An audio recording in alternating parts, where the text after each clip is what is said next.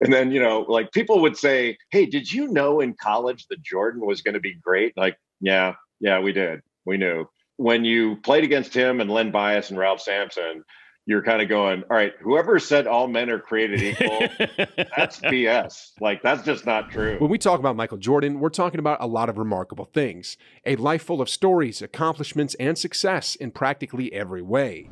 MJ is a legend not only among basketball fans, but also among all sports fans, regardless of which sport they play or watch. Jordan is a brand, not just for his shoes, but for everything he stands for. Meeting him is a dream come true for every basketball fan, including present and former NBA players. Interviews have been done on anyone who has met Michael Jordan, including friends, former teammates, rivals, bosses, and employees, to find out how they felt at the first time they met the GOAT. They received a wide range of responses, from his days as a collegiate football player to his current position as the owner of the Charlotte Hornets. We plan on telling you all about them in this video. Dominique Wilkins, one of the all time great dunkers who lost to Michael Jordan in the 1988 dunk contest, knew his airness from his college days and will never forget him. He was something else, something else, man, Wilkins said. I remember him walking into our locker room in Chicago, and he walked right by me. And I'm like, what the hell is he coming in our locker room for? As he walked by me, walked by Kevin, and he tapped Randy Wittman on the leg and he said, Lace him up. It's going to be a long fucking night. And he walked out. He had 60 that night. Jordan's longtime agent, David Falk, recalled meeting Michael when he was a skinny freshman in North Carolina. He went on to claim that their first official meeting was in 1984 when they had a meeting and discussed with MJ about things they could do better, while Michael merely observed and analyzed what was being said. It was a fluke. It wasn't really a planned meeting, but we had a lot of clients from the University of North Carolina, Falk said. I had a client named Michael O'Koren who played for New Jersey. We had to do something. I had to do something with him in the western part of North Carolina. We actually drove out there, and when we finished, we stopped by Coach Smith's office to let him know that everything had been taken care of.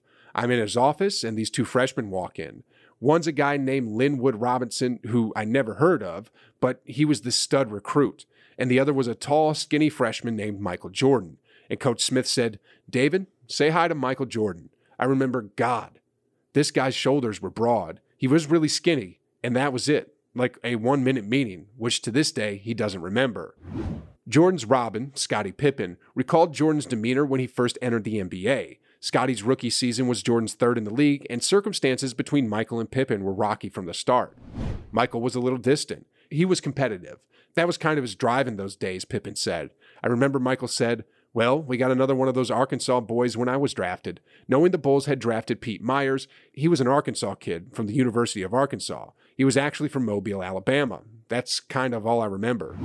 One of Jordan's most memorable rivals, Gary Payton, believes he sent a message to the Chicago Bulls legend during his first season in 1990. Jordan, he had no idea, was planning to cook him once they met during the regular season. I went at him in the preseason and he didn't forget it, Payton said. We played him for the first time in the regular season. He walked on the court, and I was talking mad crazy. He only played like eight, nine, ten minutes in the preseason game, and he went over and told BJ Armstrong at Pippen, I got the rook. I got him all night. He got me in foul trouble real quick. I sat down. He played like 10 minutes of the game. He had like 35 points. He walked over and said, Young fella, preseason ain't what's happening. This is what's up. It was like, Welcome to the NBA, and many more.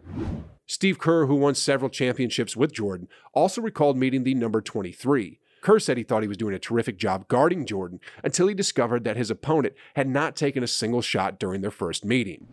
I think guarding him was the first time I actually saw him, Kerr said. Craig Ehlo was injured, so I started at the two in that game. I guarded Michael and he guarded me. Talk about the all time mismatch physically. I was a buck 80, I remember I made the first shot of the game with him on me, felt really good about that. And then six minutes into the game, he hadn't scored. I was thinking, sitting there during the timeout, Michael hasn't even scored yet. I'm doing pretty well. I thought about it and I realized he hadn't even taken a shot yet. He's been passing to all his teammates. Why hasn't he shot yet? And then over the next four minutes, he just torched me, made like six straight shots, and then Lenny Wilkens took me out. By the end of the game, he had like 48. I finished with two just that first bucket of the game. That was my welcome to the Michael Jordan world moment. Dwyane Wade, a rookie, met Jordan in the strangest of circumstances. Wade's draft party in Chicago was closed off to Michael. The Miami Heat guard couldn't believe what he was seeing and went to see Jordan, who merely wanted to say hello. I just got drafted to the Heat, and then going back to Chicago after that, they had a big draft party, Wade said. And I'm inside the draft party, and it was popping. I remember my cousin came and got me, and he was like, Yo, Jordan's here. They won't let him in. I'm like, what, man? Stop playing with me. And he was like, bro, I'm serious. Michael Jordan is outside with like 50 people. They won't let him in. So we run out the door, run up the front where they won't let him in. Why y'all won't let Jordan in? Somebody was like, he wouldn't pay. I'm like, what?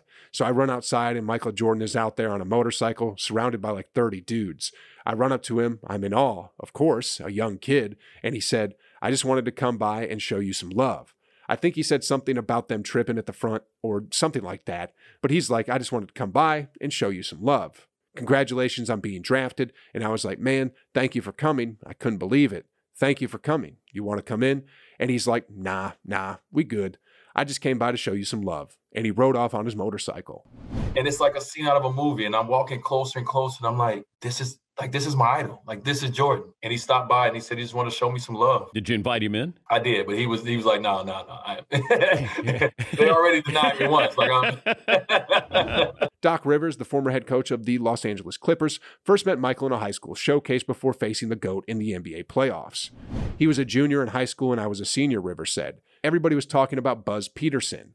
Buzz was my roommate at the sports festival.